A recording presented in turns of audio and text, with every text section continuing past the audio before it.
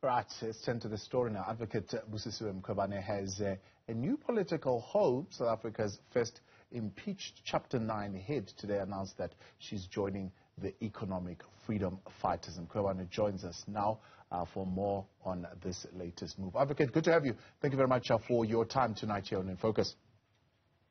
Good uh, evening. Good evening to the listeners of Newzroom Afrika.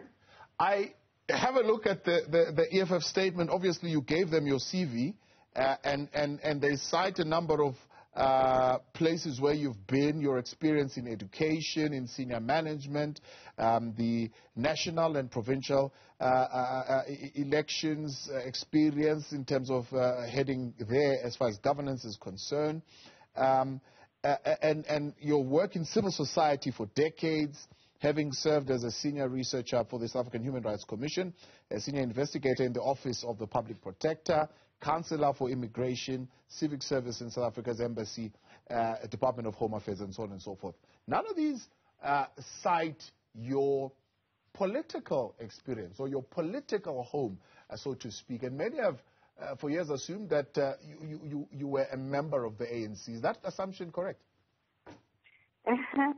I had that question as well today, and I was surprised that people were thinking I'm a member of the ANC. I said it during my interview um, in uh, 2016 that I'm not a member of any political party. You know, I I was even thinking now that you know what, I'll be a career politician because this is my first political home and uh, I'll be learning a lot, and I'm looking forward uh, to learning from um, the other um, freedom fighters. Yeah. Why, after all these years, do you decide to, to, to, to have a political home and actually play an active role in politics? You know, um, I was working within a political space, and everything we do um, it's political. Um, normally, I would say even to uh, the young people that, you know, when you speak about education, discrimination, unemployment, inequality, that's actually politics because um, at the end of the day, I said, um, I am now going to be protecting the public and you don't need a title to continue doing that. Each and every politician, um, each and every person should be uh, protecting those who are vulnerable. Therefore, for me, I then said, um, this is what I will still uh, continue doing.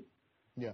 There are a number of organizations that did not support your impeachment. EFF being one of them, ATM being, being, being, being another, and other uh, smaller parties, including the UDM, uh, that did not support your impeachment. There are new parties that are being formed uh, that uh, are planning to contest the 2024 elections. Why the EFF and not any of the others?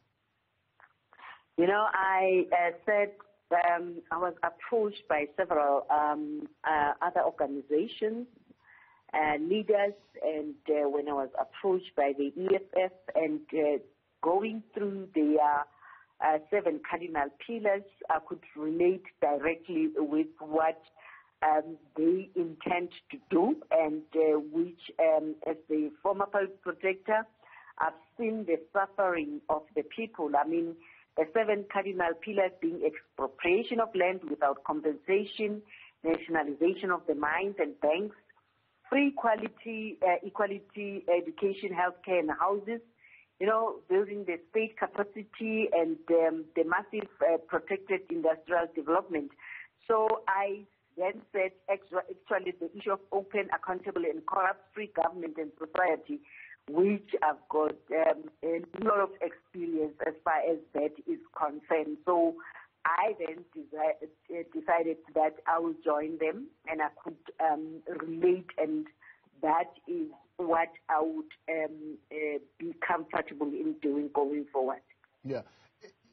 Is this a career move in the sense that there's a prospect for you to become an MP, head to parliament? Have you had those kind of conversations with the economic freedom fighters? I think that um, you had me reading the declaration and what I'm committing myself in. So that is up to the uh, leadership of the EFF to deploy me wherever they see fit. But as far as I'm concerned, I told them with my expertise, I would contribute in changing uh, the lives of the South Africans and the poor and the marginalized. And as well, I mean, I've issued several reports, and those reports um, cut across all service delivery related issues of uh, government and the failures, service failures of government. Therefore, um, I would want to assist them. And also, if it comes to contributing to policy changes, uh, which will change the lives of South Africans, definitely I'm willing to assist in any sphere which they will be deploying me to. So you, you, you would see yourself serving better, for example, in, in, in, in a local government space where most of the service delivery would actually need to happen? I would serve in any space. Um, I would also serve with the best in policy making, policy changing. Uh, but I'm just somebody who can do anything. I would be thrown into a local municipality, provincial, national, parliament, and everywhere. Um, you know, I am somebody who definitely uh, change the status quo. I'll definitely contribute um, to the upliftment and the changing of the, um, uh, you know, the status and the uh, quality of uh, the living conditions of, of the people. Yeah. I don't know if you were confronted with this question a little bit earlier on, but your relationship with the EFF was quite toasty at, at the beginning. In fact, the, the leader once saying, once a spy, always a spy. And we made a mistake with this one. We thought we were giving her a chance, but this comrade will completely destroy that office. Have, have you cleared that air? Have you sat down and, and cleared this, this allegation of being a spy with the, the leader of the EFF? Um, you know that you can um, uh, ask the CIC. But then all I can say is that uh, I was trying to, because I took that matter to court, and especially because what the DA did was to change the credibility and the integrity of the institution. That matter was still before court, and uh, unfortunately, the acting public protector withdrew that matter. So at the end of the day, uh, that's what the leader said, and I think uh, that's what you can find out from him whether indeed he still stands by that. But because I, they've approached me and they wanted me to be part of them, I think they now know, um, and they've supported me during the Section 194 committee, and they could see that indeed I'm the public protector I committed myself uh, to be. And indeed, um, I proved myself, I proved that I could deliver um, the services. Therefore, um, they saw it fit to approach me so that I can work with them. Yeah. No, I, I certainly will put that question to, to him when I do get a chance, but I, I wonder what would have influenced your decision. I mean, surely you, you would have known that view that they held about you what, what would have changed your mind about uh, uh them uh, uh, and holding that particular view of you? You know, um, what changed uh, my, or what made me to go to them and to accept um, their offer was just to make sure that I work with them to change the lives of the South Africans. You know, as uh, the declaration again, coming back to it, it says, are you willing to serve selflessly? It's not about me. It's about them uh, approaching me and realizing and seeing it that I could um, assist in them achieving their mandate. And I think one thing for sure as well, I don't want to um, use that and uh, at the end of the day just uh, hang into that comment which was made long time ago. The EFF has changed and the leadership of the EFF has changed. They've supported me through and through. through the persecution by the ANC and the DA. So definitely, for me, I saw it fit that I could work with them, and that mm. was the only instance where that was mentioned. Yes. And we continued to work uh, together. So, I mean, I, I, understand that to say part of what could have influenced your decision was the, the support that they showed you during this Section 194 process. Others are saying, well, you were also represented uh, by a, a, a, very public EFF member, uh, Advocate Dali Mpofu. Um, definitely, I mean, you know, Advocate Dali Mpofu is uh, a very seasoned um, uh, advocate, and we were purely dealing with um, his professional um, mandate of uh, protecting, in fact, of defending me uh, through that Section 194 committee. It has nothing to do with the political organization it belongs to. I was represented by other advocates who are belonging to other political parties. And um, when you are an advocate or an attorney, uh, normally you would then focus on what you are expected to do. Definitely, that has nothing to do with the fact that Advocate Dali Mpofu is a member of the of the of the of the EFF. And for your information, he's not the one who approached me, um, especially that uh, I must join um, the EFF or who, who, who, who approached you? I was approached by the um, deputy president of the of the of the of the EFF, and as well not only him but uh, even other provincial fighters and former leaders of the EFF who are serving or who are serving in in the leadership structure. So I would say um, advocating for who has nothing to do with this, but then at the end of the day, one will be learning a lot from him. Now um, roles have changed. I'll be learning a, lot um, about the political space. Yeah. I, I, I, have no information, maybe you can put me straight here, but is there a, a branch of the EFF where, where you stay in Petal, or will you be starting that branch? No, um, I joined the EFF uh, branch in um, Kwaggafontein. I stayed in Kwaggafontein. I, I grew up in Kwaggafontein. I stayed there for more than 40 to uh, 45 years. So today I joined the branch EFF in um, Mpumalanga, Kwaggafontein, um, Watch 28. Uh, so the chairperson of the of the of the of the branch was also there, and all the leadership of the of the of the of the movement. So uh, what I will be doing is to help them, to empower them, and uh, so that we can change the um, lives of the South Africans. Yeah.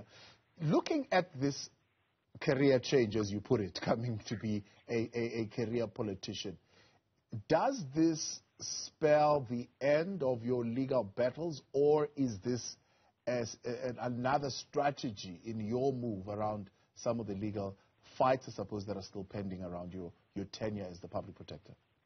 No, I will continue to fight. Um, remember the way I was, um, um, you know, treated.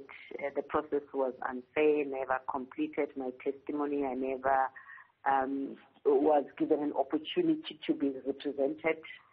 Uh, they violated the Constitutional Court judgment, and um, you know, I was um, judged by people who were um, conflicted, the husband to the complainant. Um, they refused to even call that complainant.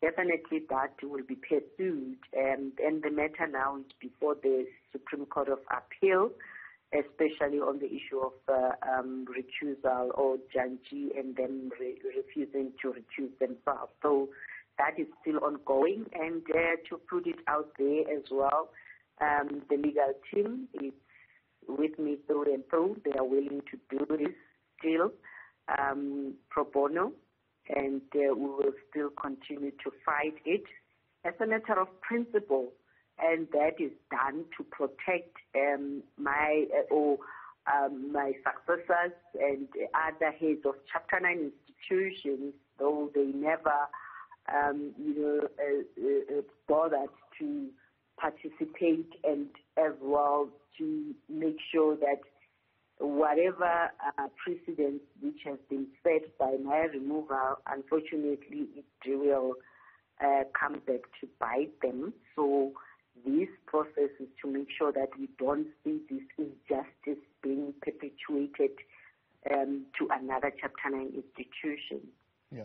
So, I mean, there's your own litigation that is currently going. Of course, you're, you're putting that through our judiciary system. But as a politician now, uh, wherever you will be deployed, maybe if you are deployed in Parliament, do you have a bone to pick with the judiciary and the state of the judiciary in, in, in South Africa? And, and, and are these some of the battles that you, you hope to fight as a politician?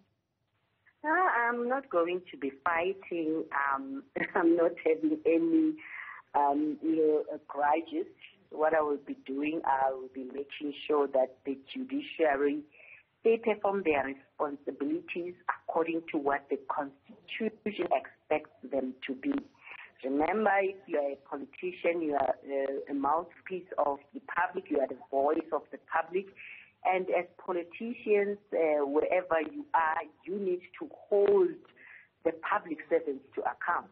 So they will also have to account, um, they will have to be held to account in the performance of their responsibilities, and uh, that's purely that. It's not, um, you know, uh, having a gripe uh, about how they uh, treated me, because cases are still ongoing, and uh, another one is before the um, African Commission, and especially where they utilized uh, Judge Bess Nkabinde to lead the panel. So that process was still be ongoing, and uh, one will continue to be protecting the public. I mean, it's interesting that the ANC and the DA managed to have two-thirds majority, uh, including our ACDP, uh, Good Party, FF Plus, and um, the IFP um, to remove me. And I think it will be interesting um, to have the same energy to change the lives of the South Africans um, going forward. Yeah. I, am asking that purely uh, out of the, the clips that you shared of the conversation that happened between your husband and the late Tina Joemat uh, that says the courts are with Ramaphosa and whether or not it is something that you would want to focus into and address if you believe so strongly about it. Yes, um, that will be dealt with. It's part of accountability. Um, the president is also one executive who should be accounting to parliament. Um, you know, and uh, I've said several times that unfortunately in South Africa we find that the president is the um, president of the party, and you find that a lot of the members of parliament are you know, the uh, subordinate to, him, and sometimes it's difficult for them to hold him to account. But I think that's the responsibility of uh, um, politicians um, to hold the executive to account and the issue of transparency. And I mean, coming to the issue of the late Tina Joemat um, may her soul rest in peace. I mean, she was so transparent and she exposed the shenanigans which are happening within the uh, uh, uh, that committee and especially the ANC. So, um, you know, the responsibility of opposition parties and politicians are not there to serve their selfish interests. They should be there to make sure that they um, hold the executive and any other to account, lead by example, as leaders of society. Quick one, I have 30 seconds literally. Tomorrow, 19th of October, it's believed, anecdotally, it's not confirmed, but that Parliament will actually be voting to confirm South Africa's uh, uh, public protector, and it's likely going to be Advocate Kholeka Gcaleka. Do you have any views on that? Um, you know, again, it's a question of uh, the portfolio committee or the ad hoc committee which appointed her, uh, shortlisted her. They thought it best to recommend her to um, be appointed. I think um, I wouldn't comment much. Um, the only thing is she must just concentrate in protecting the public and holding the executive to account, not to be, uh, uh, um, uh, you know, uh, fitting the narrative that she is the president protector or the ANC protector. So she needs to, um, when she's appointed, um, you know, focus on protecting the public. Advocate Mkhwebane, I appreciate your time. I wish you all your best in your new career as a politician. Thanks for coming on.